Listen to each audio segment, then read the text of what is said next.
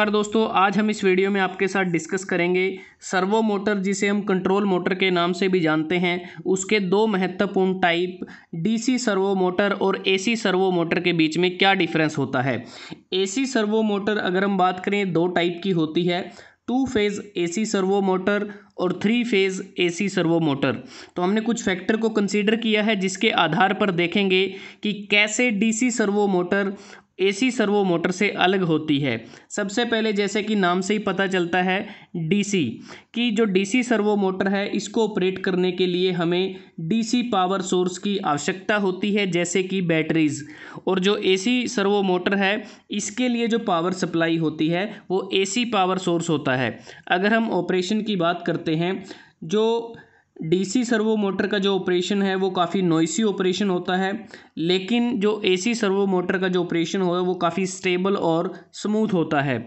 अगर हम परफॉर्मेंस की बात करते हैं तो डीसी सर्वो मोटर में जो परफॉर्मेंस होती है वो सिर्फ़ वोल्टेज पर ही डिपेंड करती है, लेकिन एसी सर्वो मोटर में जो परफॉर्मेंस होती है वो वोल्टेज और फ्रीक्वेंसी इन दोनों पर डिपेंड करती है। उसके बाद है स्टेबिलिटी। स्टेबिलिटी का मतलब है कि जो डीसी सर्वो मोटर है, ये कम स्टेबल होती है, क्योंकि इसमें जो स्टेबिलिटी से संबंधित बहुत सारी प्रॉब्लम होती हैं। लेकिन एसी सर्वो मोटर ये ज़्यादा स्टेबल होती है। इसमें कम प्रॉब्लम होती हैं स्टेबिलिटी से रिलेटेड। मेंटेनेंस की अगर हम बात करते हैं, जो डीसी सर्वो मोटर होती है इसमें कॉम्यूटेटर का इस्तेमाल किया जाता है, जिसके कारण हमें फ्रिक्वेंटली मेंटेनेंस की आवश्यकता पड़ती है। लेकिन एसी सर्वो मोटर में कम्यूटेटर की अब्सेंस होने के कारण इसमें रेगुलर मेंटेनेंस की आवश्यकता नहीं होती तो कम मेंटेनेंस इस केस में करनी पड़ती है। उसके बाद है वेट वेट की अगर हम बात करें, जो डीसी सर्वो मोटर होती हैं, काफ़ी हैवी वेट होती हैं और साइज़ में भी बड़ी होती हैं। लेकिन जो एसी सर्वो मोटर होती हैं, ये वेट में हल्की होती हैं और साइज़ में भी ये स्मॉल होती हैं।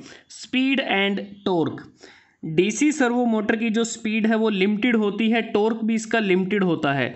लेकिन जो एसी सर्वो मोटर होती है, इस केस में टॉर्क काफ़ी स्ट्रॉन्ग होता है और इसकी जो स्पीड होती है, वह भी हाई स्पीड होती है। एफिशिएंसी की अगर हम बात करें, डीसी सर्वो मोटर की एफिशिएंसी ज़्यादा होती है, एसी सर्वो मोटर की एफिशिएंसी कम होती है। ड्रिफ्ट की अगर बात करते हैं तो डीसी सर्वो मोटर के केस में ड्रिफ्ट होता है, क्योंकि इसमें हम जो एम्पलीफायर यूज़ करते हैं, उसमें ड्रिफ्ट होता है। लेकिन एसी सर्वो मोटर के केस में जो एसी एम्पलीफायर होते हैं, उसमें ड्रिफ्ट का इस्तेमाल नहीं होता मतलब कि no drift. Radio frequency noise की अगर हम बात करें, ये नॉइस लिखा हुआ है, radio frequency noise. DC servo motor के केस में ब्रशेज प्रोड्यूस होते हैं, जिसके कारण रेडियो फ्रिक्वेंसी नॉइस जनरेट होती है। लेकिन एसी सर्वो मोटर में ये जो रेडियो फ्रिक्वेंसी नॉइस है, यह नहीं होती। अब बात करते हैं एप्लीकेशन की, इन दोनों मोटर को कहाँ कहाँ इस्तेमाल किया जाता है। डीसी सर्वो मोटर को वुड वर्किंग में, मटेरियल हैंडलिंग में, मेडिकल इक्विपमेंट में, डूर ओपनिंग में, फ्लोर पॉलिशिंग में, रोप मैन्युफैक्चरिंग में कोर कोऑर्डिनेट मेजरिंग मशीन में इसका इस्तेमाल किया जाता है। बहुत सारी एप्लीकेशन है।